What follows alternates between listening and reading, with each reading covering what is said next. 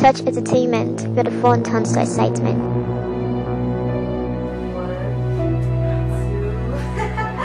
You know I love mathematics.